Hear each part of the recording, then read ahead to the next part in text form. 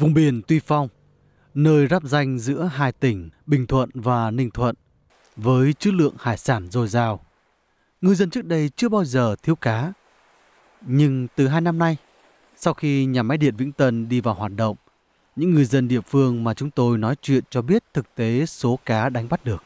Các bạn ma cái cá mà đi lưới hai á, quánh bữa kiếm năm bảy trăm, năm bảy trăm kiếm ăn được. Năm nay chưa có gì. Đi bữa vô năm ba ký rồi, ba ký cả. Bán người đủ ăn qua ngày. Cũng có.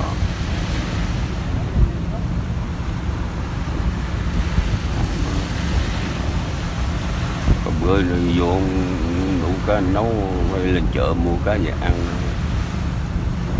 Thảm. Làm gì?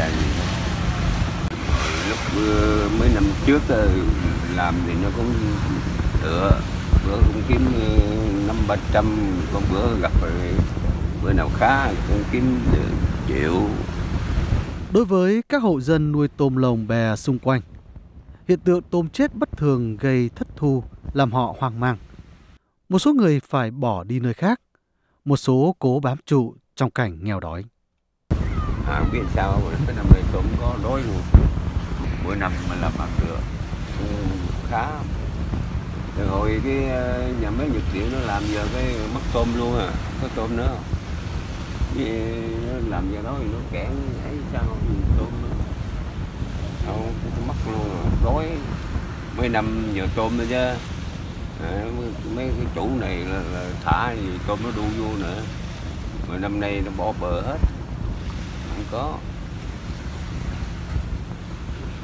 Các cánh đồng muối bạt ngàn xung quanh nhà máy đứng trước nguy cơ phải sử dụng nguồn nước biển không đảm bảo để sản xuất.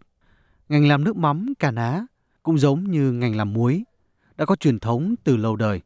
Sử dụng cá và muối đánh bắt từ vùng biển địa phương, đang đối mặt sự e ngại từ người tiêu dùng.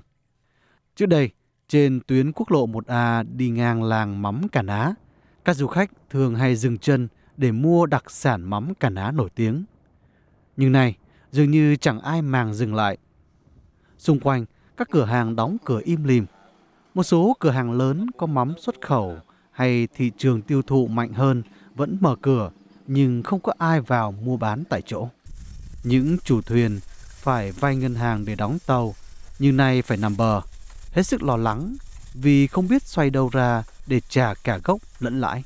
ngày mà nhà máy nhiệt điện làm lên đó là riêng nghề em mà là không có đèn trên biển ghi là thất bại đậu ghi bờ rất là nhiều. Là chủ ghi người ta chủ nợ Thực tế cho thấy, ngoài những mặt lợi từ nhà máy điện Vĩnh Tân được phía chính quyền đề cập như tăng cường điện năng, giải quyết công an việc làm cho một số người dân địa phương, thì còn quá nhiều bất cập mà chính người dân địa phương nêu ra. điện thì chị không biết nhưng mà giá cả hồi đó giờ nó cũng như vậy chứ nó cũng đâu có đâu có cái cái giảm chỉ gì cho dân để nhờ cái điện đâu em nếu thiệt như dân cà ná hầu giờ không có cái nhà máy nhiệt điện nó cũng xài điện bình thường Trong khi những thực tế xảy ra sau khi nhà máy nhiệt điện Vĩnh Tân 2 đi vào hoạt động gây nên chưa giải quyết xong, thì dân chúng địa phương tại Tuy Phong lại nghe tin Bộ Tài nguyên Môi trường đồng ý cho phía điện lực đổ gần 1 triệu mét khối bùn cát nạo vét xuống biển Bình Thuận gần khu bảo tồn Hòn Cao. Giới chuyên gia và người dân được hỏi ý kiến đều cho rằng đổ bùn cát xuống biển chắc chắn tác động đến môi trường và từ đó gây ảnh hưởng bất lợi cho kế mưu sinh của dân địa phương.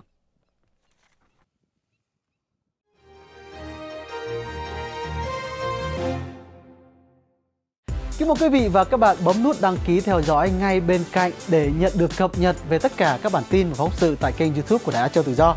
Ngoài ra quý vị cũng có thể theo dõi các video của chúng tôi trên các phương tiện mạng xã hội như Facebook hoặc Twitter. Xin cảm ơn và hẹn gặp lại.